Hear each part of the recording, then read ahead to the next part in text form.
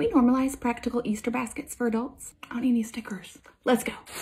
Use a Target bag. Trust me, your house doesn't need another wicker basket. Speaking of Target, go to the air care aisle, get yourself some Poo~Pourri. The most practical gift you can give. You will not have to smell their poop ever again, so technically it's also a gift for you. Alcohol! Enough said. For after. Good pens. You know you're an adult when you have a favorite pen. The remote they haven't been able to find for three days that you accidentally lost. Batteries, because the remote's probably dead. Go ahead and throw that gift card in there that you got it for Christmas that they still haven't used. They'll never know.